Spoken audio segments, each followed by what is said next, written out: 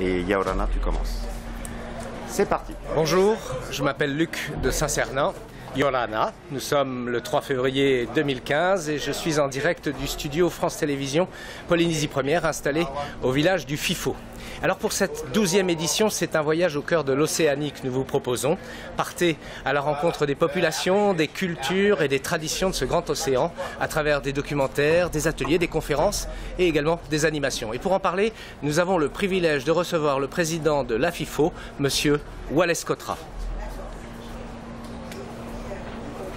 Parfait.